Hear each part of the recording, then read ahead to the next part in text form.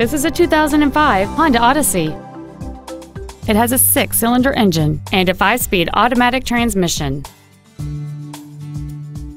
Features include a split folding rear seat, cruise control, a rear window defroster, a CD player, a passenger side vanity mirror, traction control, an anti lock braking system, side impact airbags, a keyless entry system, and air conditioning. Not to mention that this Honda qualifies for the Carfax buyback guarantee. Stop by today and test drive this vehicle for yourself.